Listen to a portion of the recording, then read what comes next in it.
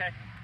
So hey Isaac. Hey Trent, how Hey, are you? good, very good. I'm uh, I'm excited today to teach you a few things about chi running. Yeah, you were good. So what's that? It's a it's a it's an alignment and relaxation uh, form of running. Okay. So basically, what we're trying to do is create the conditions for chi and your life force and your in your center to flow forward as you run. Okay, so um, the two central principles are injury prevention and uh, and energy efficiency.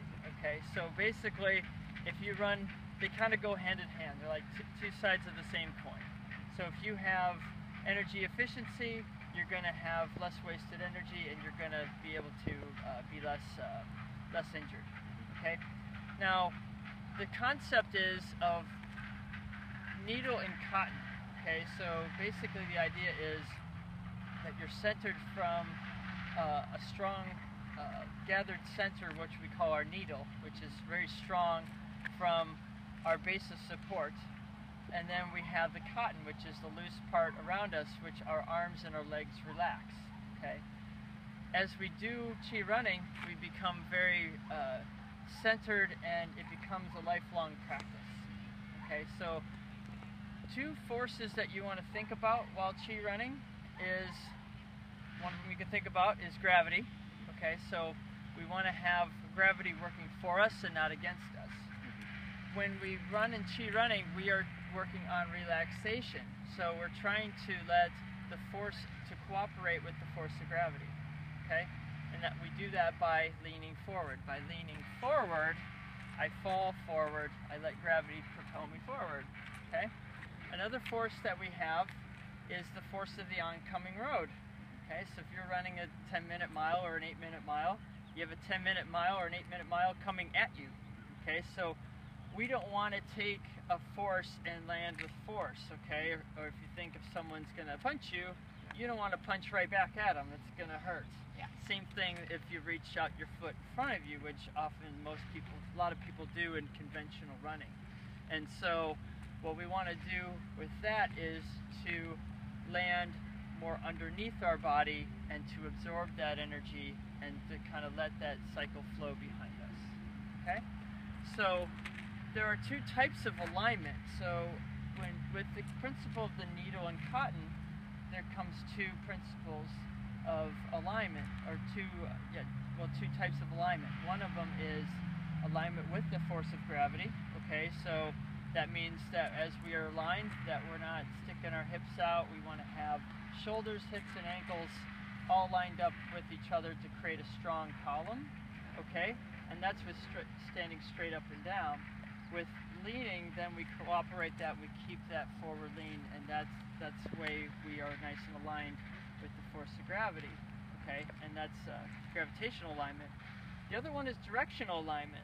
Directional alignment is you want to have as many body parts moving in the direction you're going. Okay. That makes sense.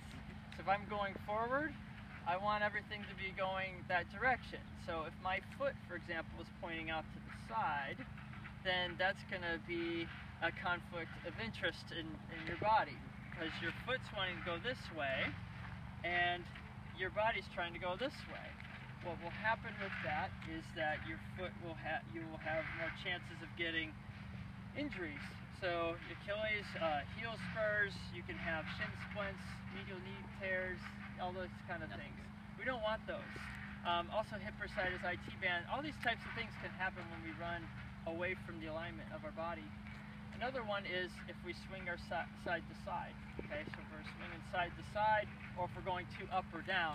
Okay, so if we use a lot of muscle energy to go in the direction opposite where we're going, then it's going to be uh, a loss of energy. And like we said, we talked about energy efficiency. And like I said, energy efficiency relates to being less injured. And so basically, we want to think about gradual progress with all of this. Okay, so this is a very essential purpose in Chi running that we want to think about gradual progress. Meaning, you're not going to get it all right now. You know, you, you'll get some concepts, they'll start to be kind of a beginning part for you, but don't just let it settle into your body. that we got to try to get a learning point and have it as a base for the next part that we learn, and then we learn in layers, and then it, we can like learn over time. Okay, so gradual progress is, is very important. You'll probably hear me say that a lot. So if you're not completely aligned, we'll get you working on those things.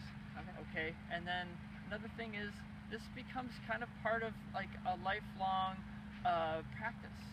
So it's not just a thing that just goes to running. You will realize it goes to even other parts of your life. You can apply a lot of these things all day long, where you can kind of work on relaxing and, and aligning yourself, for example, while you're sitting in a chair or while you're while you're walking down the street, okay, or driving in your car, okay. So that way you can kind of feel the energy uh, a little bit more, and uh, it becomes a part where you're aligned and relaxed, and that's the part of needle and cotton that I want you to remember today. Okay. The first lesson that we'll learn, or we'll, we'll kind of go through these basics, are number one is posture. Okay. Posture is just aligning yourself nice and tall and, and to create a, a column that you can work from, working on your needle. The second one is ankle lift and chi walking. So we're trying to lift from our ankles. Okay. So we're just trying to work from our center muscles to lift up our feet instead of pushing off our feet. Okay. Because pushing off our feet will become uh, an energy waste. We're using too much energy in our legs versus our core muscles. Okay, so we'll say that a lot. Core muscle strength is very important and, and working from our center. The other one is leaning. Okay, and leaning is not like this, but leaning from your ankles, so you're falling forward. Okay, and then the last one is arm swing. Okay, so we'll work on arm swing, and that will be swinging your arms behind you okay, versus in front of you. We'll talk about all these things in a little bit, and then then we'll go out for a little run. Okay. You ready? Yeah. Okay, great.